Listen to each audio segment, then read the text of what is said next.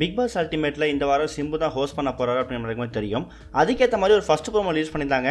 Okay வந்தாச்சு celebration start பண்ணலாமா அப்படின்னு சிம்பு கேட்டிருந்தாரு. ஆனால் இப்போ ரீசெண்டாக செகண்ட் ப்ரோமோ ரிலீஸ் ஆயிருக்கு.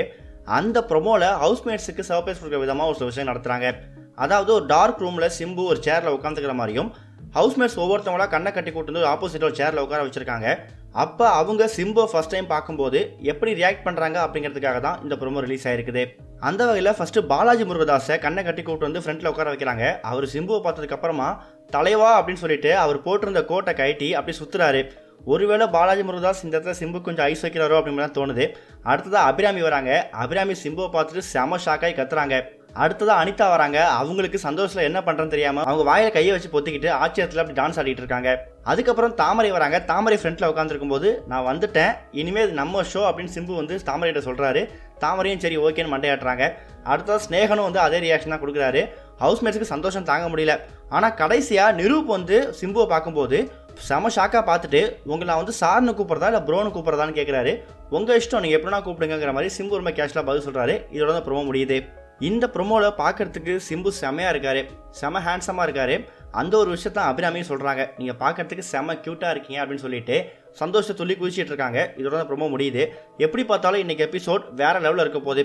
எல்லாருமே இந்த எபிசோடை பார்த்துட்டு ஃபயர் விடுற லெவலுக்கு சிம்பு சூப்பராக பர்ஃபார்ம் பண்ண போகிறாரு ஒவ்வொரு ஹவுஸ் மேட்ஸ் என்ன நினச்சிட்டு இருந்தாங்கன்னா கமல் சாருக்கு அப்புறம் கண்டிப்பாக ரம்யா கிருஷ்ணன் மட்டும் தான் வருவாங்க. ஏன்னா பிக் பாஸ் சீசன் ஃபைவ்ல கமல் சார் கோவிடால் அஃபெக்ட் ஆனதுக்கப்புறம் அவங்க தான் வந்தாங்க. அந்த ஒரு காரணத்தால் அவங்க தான் ரீப்ளேஸ் பண்ணணும்னு நினச்சிட்டு இருந்தா. இப்போ அதுக்கு அப்படியே ஆப்போசிட்டாக யாருமே நினைக்காத அளவுக்கு சிம்பு வந்து என்ட்ரி கொடுத்துருக்காரு.